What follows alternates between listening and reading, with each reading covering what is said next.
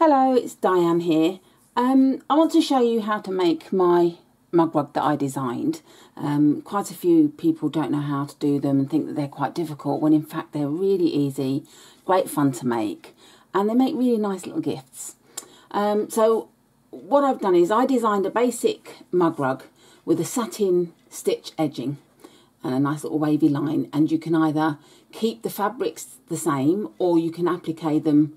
I've set it up so you've got uh, the, the placement line and the tack down line. So you can do an applique a piece of fabric if you want to, which is what I do. Um, now I want to show you, this is my Singer Futura software. I know many of you will have different softwares. So it's up to you what software you do it in, but I wanted to show you basically what I do to add the, the, the letters and the names in that I want to add in. So with my Singer Futura software, and I know obviously for many of you it will be different, I have to paste into an open design. So I go to where I've I've got the letters that I want, and in this case I'm doing it for my husband Lee. Um, so I get the L, and I've got the grid up that shows me how to centre it. Um, and I want it fairly central to the, the bottom square. Um, so that is about right for me. That's where about I want it. Uh, so that's that. And as you can see, you've got your placement uh, placement line, your tack down line, and your uh, stitch satin stitching around the applique letter. So I want to move these blocks. Now with mine, I just highlight them all and I can just move them to where I want to. Now, if you're going to do this, you need to move it so that it's after the block that you're inserting the applique letter is after the stippling. So you've got one for your placement for your main fabric, to your tack down for your main fabric. You've got your wavy line uh, placement, your wavy line tack down if you're going to put fabric up here. Then you've got your stippling, which goes all over, including the applique fabric. Then you do your applique letter placement, applique letter tack down, satin stitch for your applique letter and then next we want to insert the, the wording. Now I've already done my husband's name, so in that case I do file and paste to bring it in. Um, and I want to insert it up here, so I'm moving it up here to where I want it. And that's about where I want it for me. So I'm going to take the grid lines off now as well so you can see a bit more clearly. Now we've got the form, the letters here. I obviously don't want them after we finish the design, so I'm going to slide them across and put them after the applique letter. So the next thing it will stitch will be the fill designed name. Then it will satin stitch the wavy line.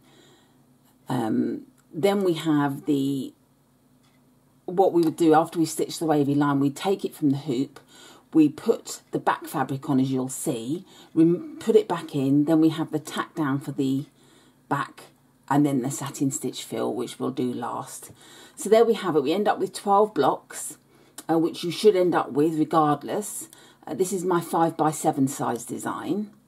Um, so this is how we're going to do it. So hopefully you, you'll have software that you can use fairly easily where you can insert the letter and the name in that you want.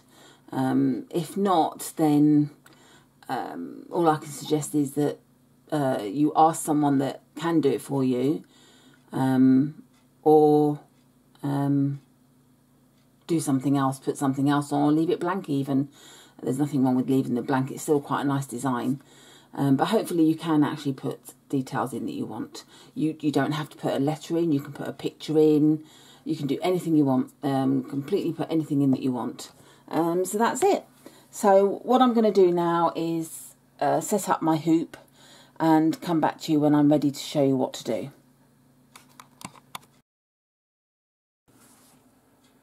Okay, back again. Um, what I've done is I've hooped some water-soluble uh, stabiliser that's the fabric type, the woven type, not the plastic type. Um, this works fine with my mug rug. Whether it works with others, I don't know. It depends on their density, etc. But I have found that it works fine with mine. And because it's got a satin stitch, stitch edging, Um, it's nice to, to just dissolve around the edges of it to get rid of the excess. When you use tear away, you can end up with little tiny bit, bits that stick out and you have to use a sharpie pen to hide them, etc. Um, which is fine, but I prefer to use the water-soluble stabiliser. So I've got my machine ready and hooped, and now I'm just going to fold it on so that it stitches where it needs to do. And then I send the needle down to bring up the bobbin thread as I've shown in a previous video just to keep the underneath neat. At this point I'm using white bobbin thread, it doesn't matter uh, at the moment. Um, so I'm just, I start by stitching off. I stop for a few and just pull the top thread just to make sure that it's not loose and doesn't cause any nesting underneath. And also, before I stitch any further, I will show you that what I've got ready. So you've got your, your hooped stabiliser, whichever you use. And then I have a piece of fabric for the top and a piece of fabric for underneath. Um, now my husband's a complete football nut, um, so I'm using a football design. Um, this is going for his computer desk. And on the back of the, the, the top piece, I've put some fusible batting, which will give me the padding for the mug rug. Now, I know people that have used a, a couple of layers of felt, um, some fleece blanket type fabric. You can use pretty, much anything as long as it's got a bit of padding. Um, so it, it gives it a bit of substance. That's good. And obviously, the thicker the padding, um, the more substance it has. Bearing in mind, if you're going to stand, say, a glass on there that's got a narrow bottom, if it's too padded, it could topple. So you don't want too much padding. Um, I just use a low loft fusible batting. So that's the top piece because I like to use the batting, batting on the top so that when you do the stippling, it gives that quilted padded effect. Some people put it on afterwards. Um, again, my design is set up to have the, the stippling on the batting, but if you want to leave it off and add it to the back at the end, that's fine, you can do that. Um, and then I've got the pieces of applique fabric that I want. Um, now this is the piece of fabric for the top um, that I've done um, for the top piece. Uh, now, what I found was using the, the red on top of the blue, you could see through it and you could see the darkness, so it changed the colour of the red. So all I did was put a, uh, some heat and bond light onto the back of the red, then laid some white fabric onto it, um, and, uh, well, sorry, then peeled off, then put some white fabric on, and that will stop the blue coming through. And it's just cheap white fabric. That's all I've done. And then I'll be putting some more Heat and Bond light on the back there, which I will use to stick down onto the, the mug rug. You don't have to use it, but it, it just stops the fabric looking loose. And then I've done the same for the applique letter. This is the fabric I'm using for the large applique letter. Again, it would have shown through the blue and it wouldn't have looked so nice. So I've layered, I've uh, put heat and bond light on, uh, peeled the backing off, ironed this onto it, and then I've already put some heat and bond light on so when I peel it off, I'm ready to go, um, which will be ironed on after I've stitched it off, stitched it on and, and snipped around it, which you'll see. So there we go. So I'm, I'm going to stitch the placement line um, and then I shall come back to you when that's finished. You'll want to sit there bored watching that. Okay, it's finished stitching the placement line and now I need to um, put in the, the fabric. Um, to make sure I'm covering the, the placement lines. So I'm just going to check where the batting is. And happy that that's covering both sides there. And it's going to the top both sides. Looks fairly straight. Um, and then just start stitching again for the tack down line. Um, I don't bother sticking it down or using temporary spray adhesive at this point. Um, it's because of the batting, I think that helps keep it quite firm in the hoop and stops it being all loose. And I just sort of hold on to it gently with my fingers, making sure they stay away from the needle, of course. Um, but I just, just make sure that the fabric is quite happy staying still. And then once we've done this line, then we have the wavy line placement uh, stitch to do, stitching to do. Um, and then the applique fabric. So that's just finishing there. Once that finishes, I'll show you I've got the heat and bond light on the back of this. I'm just going to peel that off so it's nice and shiny. ready to put into the hoop once I've stitched the placement line for the wavy line. At this point, if you don't want to put applique fabric in, as I said, and you want to keep to one fabric, you can. Um, but I've, I've done that so that you can put it in if you want to. So it's just finishing the wavy line. And then as that finishes,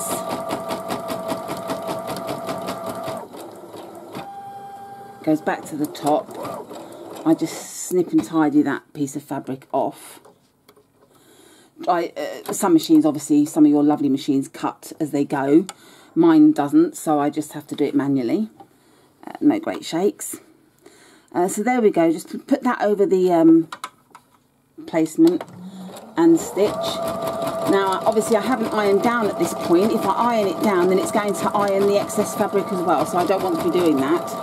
So I have to wait until I've finished, literally finished until it's um, done. So that's that line. And it's moved up, ready to do the stippling. At this point, I pressed start by accident. At this point, I want to remove the hoop. Um, and we need, got my lovely Gingher scissors, which I absolutely adore, but we need to trim away the excess before we do the stippling you have to trim away along the wavy line. Um, otherwise it's going to stipple all over the excess and um, tack it down which you don't want. So I'm just cutting along close to the wavy line not not actually on it because obviously you want to keep your fabric tacked down. But as close as I can get to, to doing it um, my Gingher scissors are lovely, but sometimes they can't quite get close enough for what I want. But there we have it. So if I'd taken out the hoop out altogether, I'd have been better off. But obviously I wanted to show you what I did. So I've cut along the, the wavy line, returned it to the hoop, and now if you want to use an alternate colour to the, to your fabric, do. I actually like to use as close as possible as I as I can. Um, I like to have the same colour as the background fabric, so that's what I've done. Uh, so we've started the stippling off, and I shall come back to you when that's finished to show you what the next steps are. Um, I finished the stippling and now we're on to the applique letter. I have actually stitched the placement line for the letter. You can't see it because it's in the same colour as the fabric. Uh, you can change colours if you want to to make it easier for yourself.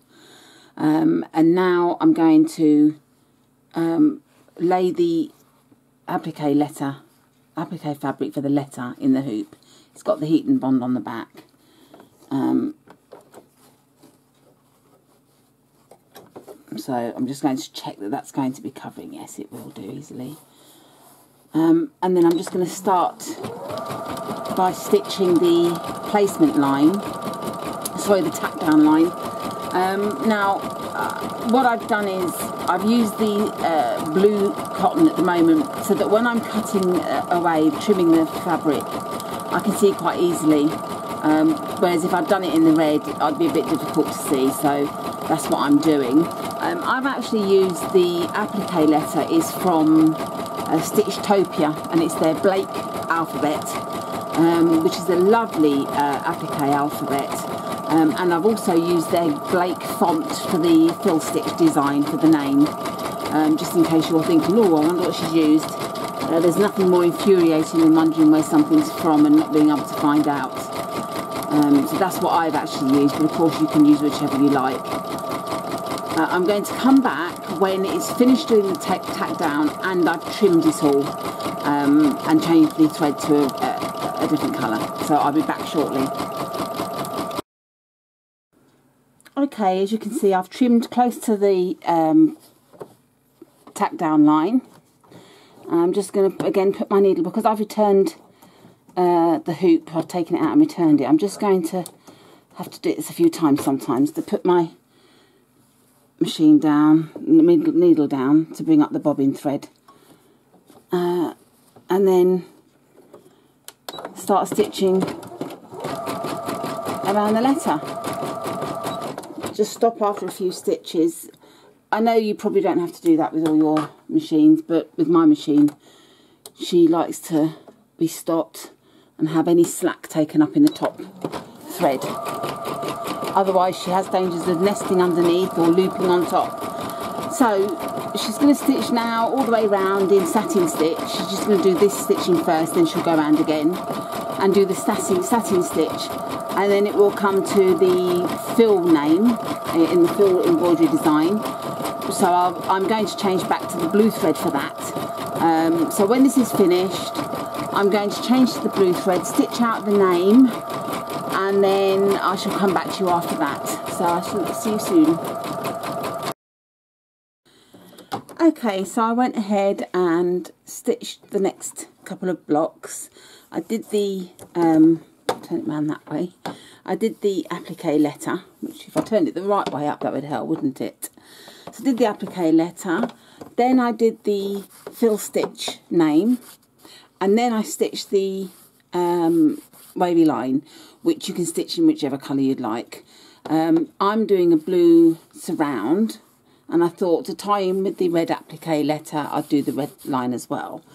Uh, what I've done is removed it from the hoop after it's done the, the name and the wavy line. Um, so before I stitched block 11, so finished block 10, I removed it from the hoop and I've turned it around and I've put a bit of um, 505 spray adhesive. I particularly like 505, obviously you want. You can use masking tape to stick along the edges if you wish to. Um, but I've just done that with the back fabric. And return it to the hoop. And then I'm going to do the tack down line for the uh, outer edge. So do a few lines, a few stitches, then just again pull the top thread just to make sure. Your machine might not need that as I said earlier, mine does. Uh, snip off the loose end of the thread and carry on. So I'm going to stitch around the outer edge, uh, just the placement line, uh, tack lines, tack down line, sorry. And then when I've done that, I'm going to remove it and I'm going to trim the edges on top and underneath and put it back to the hoop. I have also at this point changed the bobbin thread to the same colour as the, uh, the satin stitch edging that I'm going to be doing. Um, so I will come back to you when it's finished stitching and I've trimmed the outer edges. Okay, so I've trimmed it underneath and on top and I'm going to start stitching the outer edge. Um, it will do a running stitch to start with, just slow that down a little bit, and then it's going to do the satin stitching. Um, and when it's done that, I will come back to you and um, show you the end result. Uh, so that's as easy as it gets. So I'm sure you can all do it. Um, uh, people think it's difficult and it really isn't. So give it a go and hopefully you'll enjoy it.